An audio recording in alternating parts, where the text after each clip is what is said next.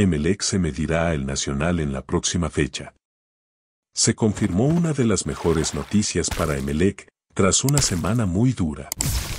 Los azules podrán volver a contar, al menos en el banco de suplentes, con su mejor jugador en este inicio de temporada, Miller Bolaños. Según la información de Estefano Dueñas en Estudio Fútbol, el volante ofensivo de Emelec, Miller Bolaños se ha recuperado y ya recibió el alta médica para volver a sumar minutos con el bombillo. El jugador es el goleador eléctrico en esta temporada.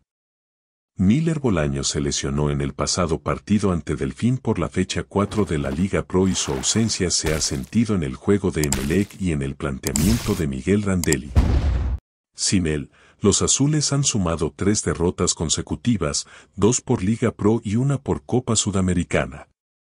Emelec confirmaría su lista de convocados para enfrentar a El Nacional en los próximos días, y se sabrá si Miller Bolaños vuelve a tener opciones de jugar.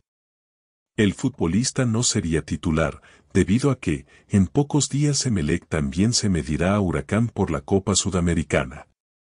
Si te gustó este video, suscríbete, dale me gusta, comenta y comparte, activa la campanita de notificaciones.